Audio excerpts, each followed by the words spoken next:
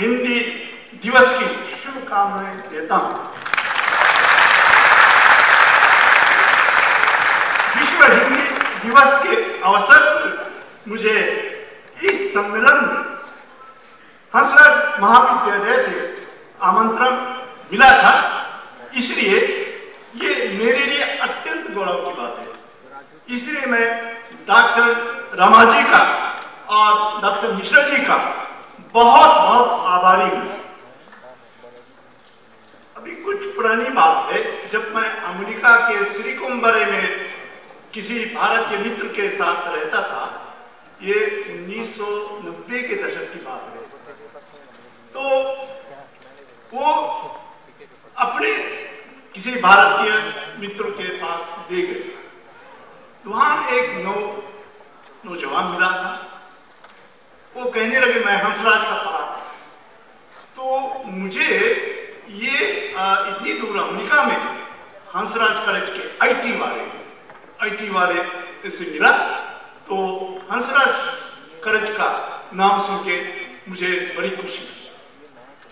और आजकल मुझे पता नहीं, इंडिया टुडे हर साल बेस्ट कॉलेज का नाम छापते थे। तो मैं बहुत ध्यान से पढ़ता था। हंसराज कॉलेज का नाम हमेशा ऊपर आता था। हंसराज कॉलेज परिवार को इससे बड़ी खुशी की बात नहीं हो सकती।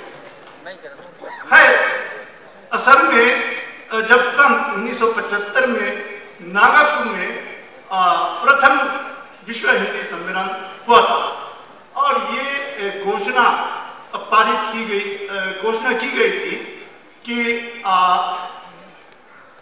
हिंदी संयुक्त राष्ट्र की प्राधिकृत भाषा बनाए जाए। तब से हिंदी की स्थिति में क्या परिवर्तन आया है या क्या नहीं आया है इस पर विचार करने के लिए आज का विषय नई दुनिया और नए भारत, नई हिंदी, बहुत समय उचित और सराहनीय है। तो मैं इस विषय पर कुछ पेपर तैयार किया हूँ, क्या है, और कल, आज थोड़ा लंबा हो जाएगा, कल 10 बजे मेरे सत्र में आके सुनने की कृपा करें।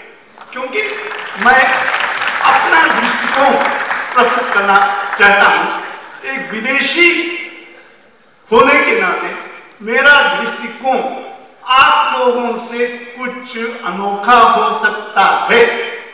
इसलिए आप कृपया मेरा भाषण या मेरा व्याख्यान सुनने के लिए ज़रूर पधारें। धन्यवाद।